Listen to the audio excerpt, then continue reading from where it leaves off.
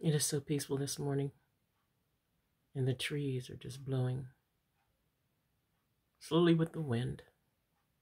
God is good. I was just thinking, today is January 17, 2022, and we got that big snow that all the Pittsburgh radio stations were saying we were going to have here in Western Pennsylvania, and it is gorgeous.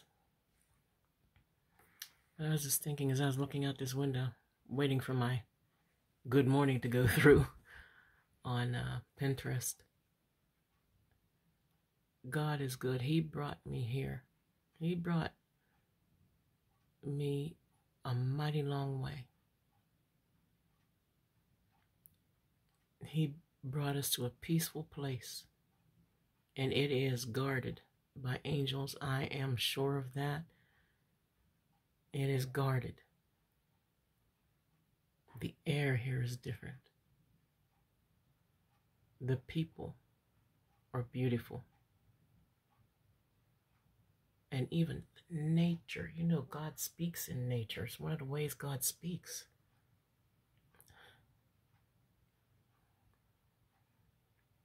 Sometimes it makes you feel like Elijah.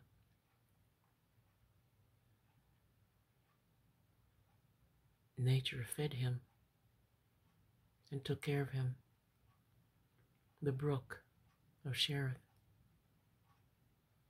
the birds, the ravens that fed him, the cave that hid him. And then it makes me also think of Joshua. With the power that we have within us with the Holy Ghost in Jesus Christ, the blood of Jesus and his name, we can control nature as well. So whatever you hear from man, don't take it as a final. Because even in the book of Joshua, Joshua needed to win a war. So he literally spoke to the sun and commanded the sun to stop. He told the sun to stop. And the sun stopped, it stayed. So that he could win the war, and he won the war. Imagine the other things that you and I can do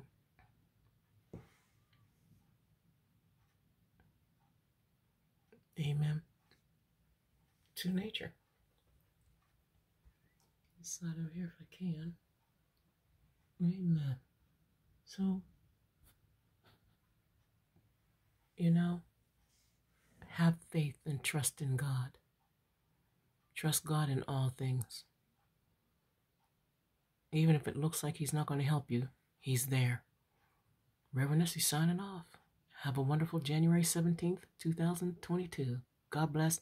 Stay warm, stay safe.